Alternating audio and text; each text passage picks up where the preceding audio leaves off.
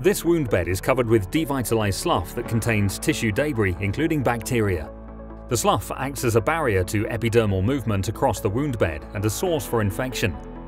This requires debridement for the barrier to be removed.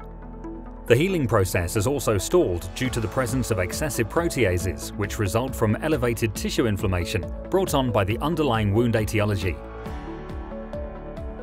Both these wound dressings protect the fragile wound bed from contamination, but only HydroClean Plus has a patented rinsing absorption mechanism.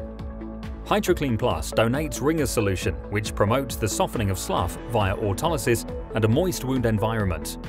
Optimal moisture levels encourage wound progression, healthy granulation tissue formation, and epithelialization.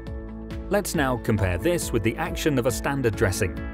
There may be deficiencies in exudate management that could lead to wound and or peri-wound tissue damage due to prolonged contact with wound exudate, high levels of MMPs, buildup of bacteria and more.